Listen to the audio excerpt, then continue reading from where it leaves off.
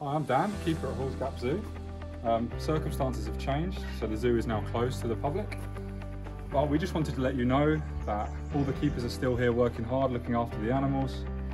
And hopefully, through our social media channels, we'll be able to bring the zoo to you. If there's anything in particular that you'd like to see from behind the scenes at the zoo whilst we're closed, then just drop us a comment below and we'll see what we can do.